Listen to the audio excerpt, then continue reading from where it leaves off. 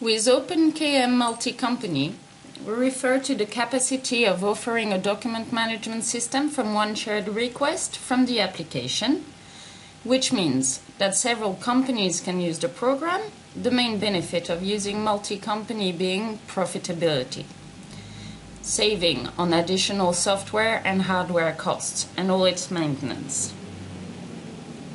As we can see, we are logged in as the administrator. On the upper right center part of the screen, we have a drop-down menu.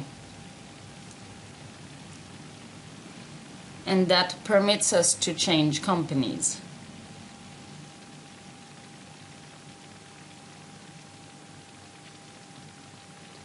We see here categories defined for each company.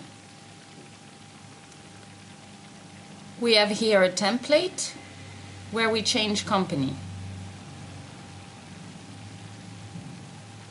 We can see here that we have other folders and files.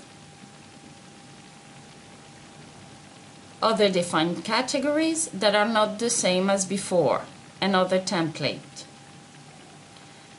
We then continue changing to company 2 and we'll observe that we have a different list of folders, documents, and also available is a different list of categories.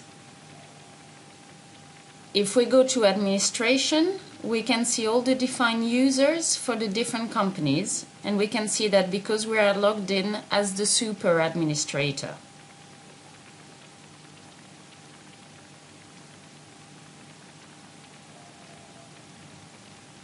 We exit the application and we are going to log in as company 1 user.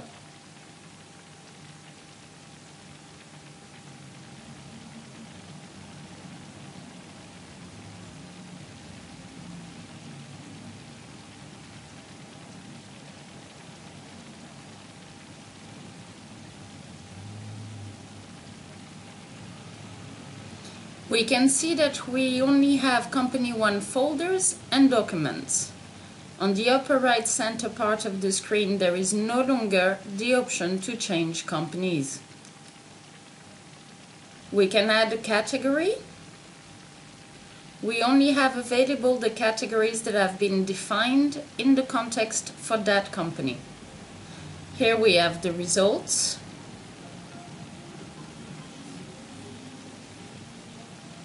Here we see the names of the documents. We'll do a search. We'll search for all the text files.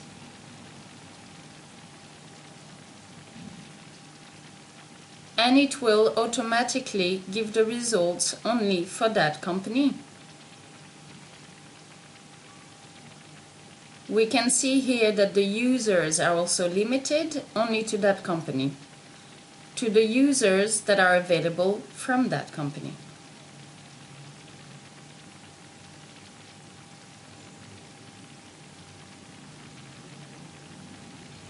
Now we are going to log in as a user from company 2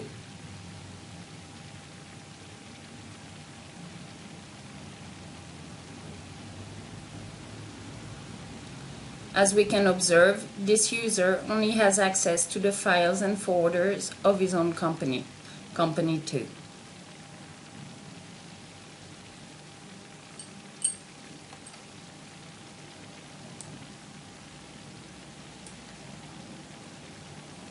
We can add a category from a category only accessible from Company 2. We see here the categories available to Company 2 only documents from company 2 appear. We can do a search to see all the documents in text that are available and only the documents available to company 2 will appear.